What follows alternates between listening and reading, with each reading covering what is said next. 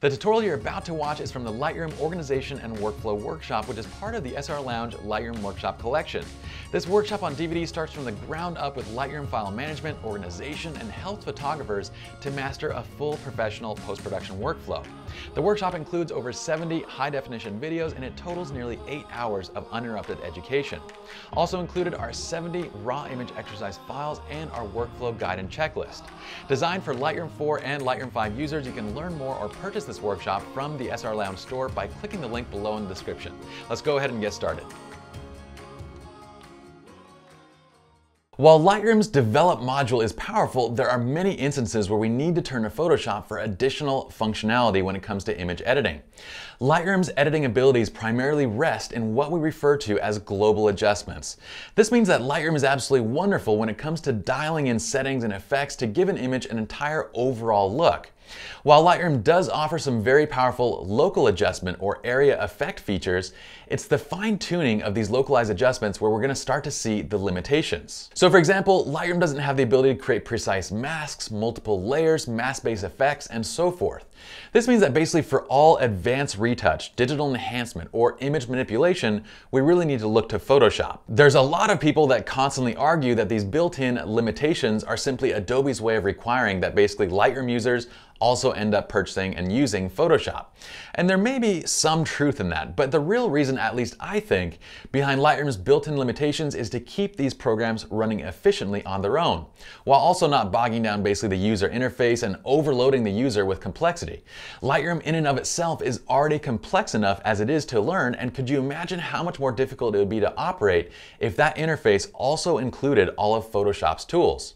Imagine not only using, but just navigating the sheer amount of functions between these two programs if they were to be combined. By keeping these programs separate, Adobe has created two very well integrated products that work hand in hand, but each have a different purpose within the photographer's workflow, and each of them have streamlined efficiency and overall very clean and usable user interfaces. Now, while still having used Photoshop may sound like a drag to you, we find that for the typical amateur to professional photographer that say shoots a mixture of landscapes to portraits and everything in between, we really only need to go into Photoshop with around 1% of our images.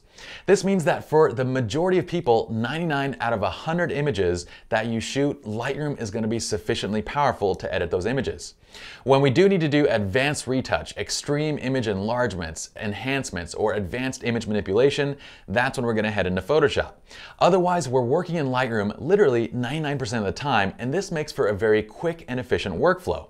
For most serious photographers, Lightroom is going to be powerful enough as they don't require the image manipulation abilities of Photoshop.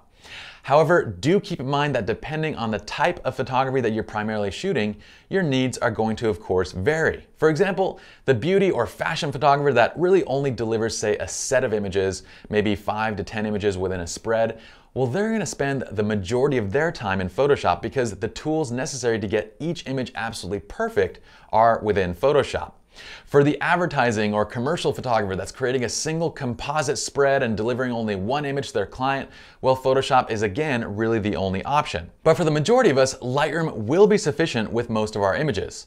Either way, my recommendation to all of you is the exact same. First, Master Lightroom in this workshop. Many people don't realize just how powerful Lightroom is in and of itself when it comes to even advanced things like Lightroom portrait retouching and enhancing.